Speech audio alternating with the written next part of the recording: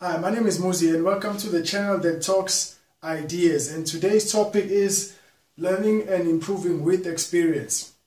Now, first things first, whatever it is that you are doing, there is no way that you can be excellent at it when you first start. So you have to start whatever it is that you have to start and then learn and, and improve as you go along. Uh, so the main talking points for today are number one, the issue of small batching.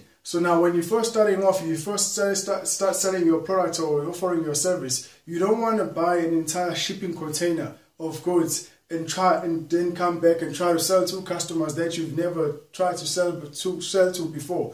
So you start with small numbers, sell to your customers, see how it goes, get a feeling of how everybody is, is uh, get everybody's reactions to the products. We'll see whether they like it or not, the pricing, the colors, the packaging, everything. So you start from a small batch, see how it goes, and then you go to a bigger batch, and then eventually you build up to the big container loads.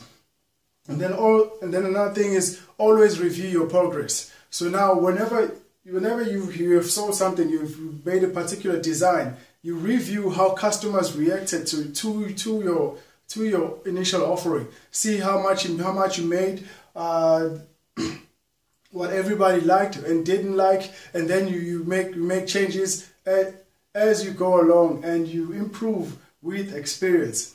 Um, yeah, update and continue. So now that you've sold sold your stuff or you've talked to people about your idea, then you come back to, to your plan and then you update whatever it is that you were writing on or your main your main points or your main offering and then you continue with it. Um, and then another important thing, mistakes are a part of life. Like it or not, you will always make something, make, you will always make mistakes. Something is going to slip through the cracks somehow, in some way, and by the time you realize it, it, it, it most probably be too late. So you're gonna need to learn how to work to work with mistake and to live with the mistakes that you make. So this ties in to that. You are much better off making a mistake in 10 items than making a mistake in 10,000 items that are inside a container ship being shipped from China. Uh, so this is where we, it really comes in. So you, sm you small batch whatever it is that you have to offer, right? You sell it, you review, and then you update and continue. And then as you continue, you do another, you do another batch. So it's all about batching your progress. You, you, you do another batch, sell it or, or experience or implement whatever it is that you want to implement. And then you, you improve as you go along. Because these are part of life. You'll always make mistakes. And the thing is with mistakes is they don't even have to be your own. You could do everything on your side perfectly and then have a supplier mess up a shipment or have an employee or a partner do something that they, that they were not supposed to do in whatever way that they were supposed to do it in. So we're going to learn to, to work with that a lot. Because whenever you are doing something new, something is going to go wrong.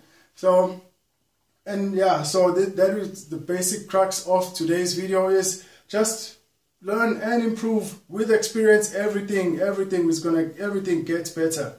Uh, I remember even I think on the previous video that video had spelling errors in it uh, I saw it later on and I realized no I didn't have much time to fix it I just put it out as is because if I try to go back redo another video and all of that it was going to take too much time I was going to miss my deadlines so I just said, okay, Muzi, live, live with the mistakes and then you'll fix it as you go along. So I hope everything is fine on, on the flip chart for today.